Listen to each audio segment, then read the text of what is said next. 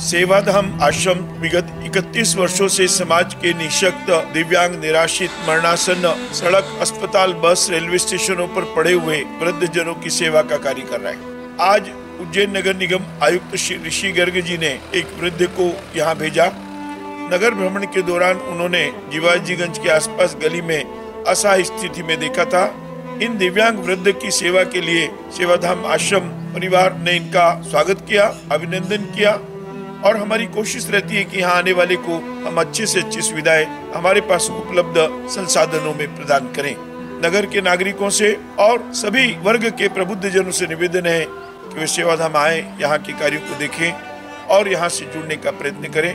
तभी हम और अच्छे से अच्छी सेवाएँ हमारे इन बुज़ुर्गों, बच्चों, निराश्रित, मनोरोगियों आदि को उपलब्ध करा सकेंगे। जय भारत, जय हिंद।